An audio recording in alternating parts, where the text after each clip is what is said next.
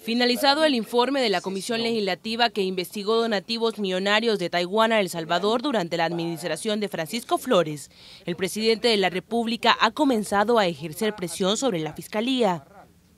El presidente básicamente pide que la Fiscalía tome en consideración el extenso documento y abra un expediente tal y como se hizo con el reporte de operaciones sospechosas del Departamento del Tesoro de los Estados Unidos.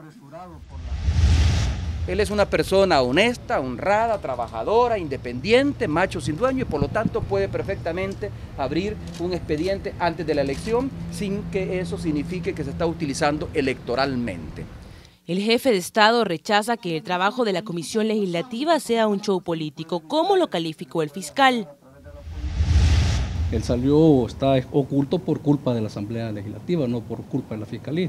¿Por qué por culpa, ¿Por, culpa de la Asamblea? Por el mismo show que hicieron en esa comisión y toda la forma. Ellos fueron los que prepararon eso. Yo no le puedo llamar a eso show político. Ahora, él puede perfectamente evitar que esto se convierta en un show político si él piensa que se va a convertir. Recibir el informe el jueves, abrir inmediatamente la investigación y llevarla con el sigilo que una investigación de esta naturaleza lo demanda. Punto.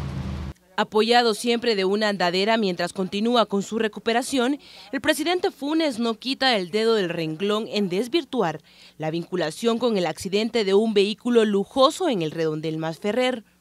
Funes reveló que el martes 18 de febrero aterrizó en un vuelo privado proveniente de Panamá al país, al que viajó para tratar temas bilaterales. Dice que tocó tierra en Ilopango porque sufrió una crisis de hernia discal que aún padece.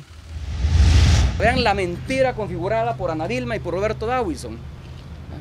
Tiene, dice, testigos de Comalapa que me vieron aterrizar. Si yo no aterricé en Comalapa, sino que en Ilopango. Ahí están los planes de vuelo. ¿Por qué aterricé a esa hora? Porque estando en Panamá tuve una crisis. Hasta que me sentía mejor, me subí al avión y me trasladé hasta la puerta de la residencia.